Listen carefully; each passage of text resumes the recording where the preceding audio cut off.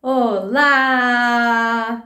Bem-vindos ao canal Se Joga Pra Vida. Para quem tá aqui pela primeira vez, seja muito bem-vindo, seja muito bem-vinda. E para quem já maratona os vídeos, para quem já acompanha o canal, agradeço o retorno ao nosso time. E vamos lá, que hoje eu quero ajudar vocês a identificarem o melhor momento de procurar uma ajuda para você entender em que tipo de relacionamento você está. Será que é tóxico? Será que é abusivo? Será que você vive com narcisista? Será que é só um relacionamento disfuncional? Vamos lá? Fica até o final que eu vou deixar uma ótima dica. E ó, já aproveita aqui, se inscreve, curte, compartilha o vídeo e vamos ajudar mais pessoas, ok? Então, nesse vídeo aqui eu vou falar para vocês para vocês tentarem identificar em que tipo de relacionamento você está. Você está dentro de um relacionamento onde você não opina, onde você tem medo de dar uma opinião por questões de evitar conflitos. Você está dentro de um relacionamento onde você se adoece fácil, aonde você se sente muito cansada, aonde você fica com a mente meia confusa, você fala uma coisa, você duvida do que você fala. Você vê uma coisa, você duvida do que você tá vendo. Você tá num relacionamento onde quando você vai conversar com a pessoa, essa pessoa, ela muda de assunto? Ela não dá atenção pro que você tá falando? Ela reclama que você cobra demais? Você tá em um relacionamento onde você a pessoa sai e você não se sente segura de que essa pessoa está saindo para trabalhar ou para fazer qualquer outra coisa e que você não tenha confiança de que realmente o que ela falou onde ela vai é verdade? Você está sempre com o pé atrás, pisando em ovos mesmo, ali, com medo que essa pessoa vá embora por algum motivo? Você está num relacionamento onde você está deixando de se arrumar, onde você está deixando de executar suas tarefas com facilidade, onde você não tem vontade de sair, onde você só pensa às vezes só em dormir, ou quando você recebe um convite, você nega esse convite e fala não, melhor eu não ir porque senão a pessoa não vai gostar. Ou, melhor ainda, se você recebe um convite para você ir para o parceiro e quando você fala, a pessoa já dá um jeito para não ir, ela já arruma alguma outra tarefa? Isso é muito comum em relacionamentos abusivos e com pessoas tóxicas. Você está em um relacionamento, gente, onde quando você conversa com alguém, ou quando você já tinha amigos, ou família, ou sei lá, ou conheceu alguém, está conversando e de repente essa pessoa, você tem medo de falar para ela que falou com alguém na rua, você tem medo de falar para ela que conheceu uma nova pessoa, e que se isso acontece, a pessoa fala: Ah, você vai ficar saindo e tá dando bola, essa pessoa é interessada em você. Que, que que é isso? Que papinho é esse aí que você tá? Isso é muito comum em relacionamento abusivo. Eles fingem um ciúme, não é um ciúme, é uma posse.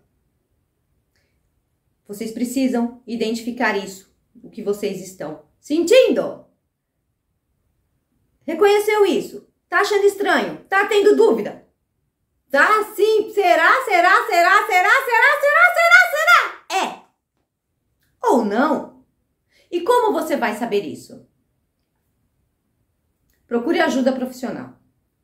Gente, não adianta vocês estarem passando por essas situações e saírem aí, por exemplo, vai na padaria ou vai no mercado, encontra alguém, ou uma família, ou uma colega, ou um amigo, e você começar a conversar sobre isso e falar que você está vivendo isso. Ok, pode ser que tenham pessoas que já tenham passado por essas experiências, que pode te ajudar sim, nada é improvável, mas o mais comum é que, se você fala sobre isso com outras pessoas que não entendam do assunto, elas vão sempre falar que você tá vendo coisas, que o problema é você, e vai ficar vendo, por mais defeitos que essa pessoa que está com você tenha, ela vai mostrar, não, mas é uma boa pessoa, ai, mas olha, está sendo cuidada por ela. Sempre vai tentar amenizar, porque as pessoas têm aquele padrão em que relacionamento ruim melhor com ele, pior sem ele. E não é. É pior com ele e muito melhor sem uma pessoa abusiva do seu lado.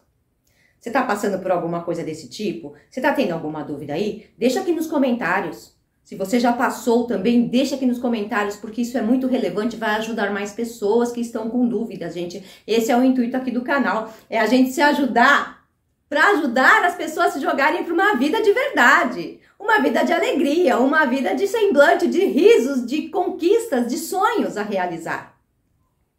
Não é verdade? Você não pode viver a vida toda pisando em ovos, uma pessoa retraída, uma pessoa para baixo. A vida não é isso. Ó, vocês já passaram aí há dois anos dentro de uma pandemia, já ficaram trancados demais, teve que remodular a sua vida. Já pensou, gente? Se você não tivesse tido essa oportunidade? Se você está aqui ainda é porque o universo está te dando uma oportunidade para você viver. E esses dois anos que nós passamos foi para nos ensinar muita coisa. Foi um tempo onde você pode, poderia ter aproveitado para entender muita coisa dentro de você, muitas emoções. Quando você está dentro de um relacionamento abusivo com pessoas tóxicas, narcisistas, é muito comum você oscilar demais nas emoções, inclusive a tua imunidade, ela baixa. Porque você fica o tempo todo com a mente ali pensando, matutando, aí a pessoa fala uma coisa, na hora você nem percebe, mas depois você fica remoendo aquilo e fica tentando tirar deduções, não, mas acho que ele falou isso por isso. Ai, não, acho que ele falou isso por aquilo. Então, o primeiro passo é você reconhecer que tem algo errado e buscar uma ajuda profissional, sim, uma ajuda profissional que entenda do perfil narcisista. Você mesmo, já vou deixar aqui, mas antes disso, ó, se inscreve aqui, curte, compartilha o vídeo e vou deixar aqui para vocês nesse finalzinho o que vocês devem fazer para poder começar a entender exatamente o que você está vivendo. Tá com dúvida de tudo isso? Vamos tirar isso daí, né, meu amor? Porque você foi a vida toda enganada, né? Mas falaram pra você lá, olha, não faz isso que Deus tá vendo. Olha, Deus vai te castigar. Olha, casamento até que a morte o separe. Cuide do seu maridinho, cuide da sua esposinha. A boa mulher edifica o lar. Só você, né, minha filha? O bom marido é aquele que tem que sustentar e fazer tudo sozinho para a mulher, para a família, e ela lá fica lá de serviçal. Ou senão ela vai lá viver, porque o marido tem que aceitar também tudo da mulher. Gente, isso são crenças que foram jogadas na tua mente. Vamos se libertar disso? Vamos viver de verdade? Vamos se jogar para a vida de verdade? Então, já vou deixar aqui para vocês. Tá com dúvida? Não tem como procurar uma ajuda profissional? Se tiver, meus contatos estão aqui na descrição. Se precisar, Pode me procurar, minha assistente passa tudo para vocês, tá? Dos meus atendimentos, horários, valores, e eu vou ajudar você a se jogar para uma vida e enxergar tudo o que está preso aí na tua mente. Mas enquanto isso, se você não faz, vamos lá. Vê os outros vídeos aqui, vai ler sobre perfil narcisista. Leia, estude, releia, faça tudo isso calada. Vai observando, vai lendo e vai tirando conclusões, vai lendo e vai analisando o que você está vivendo, que você vai identificar com quem você está vivendo e mais. Só você tem o poder de dizer para a tua vida se é isso que você quer viver. Livre-arbítrio existe, mas você pode ser livre e ter pessoas maravilhosas, novas, vindo ao teu redor, ao teu encontro, e você fazer isso com muita leveza na tua vida, ok? Eu espero muito que esse vídeo tenha ajudado. Agradeço a todos que estão aqui e que têm feito parte do nosso time. Gratidão a todos, um beijo no coração e até um próximo vídeo!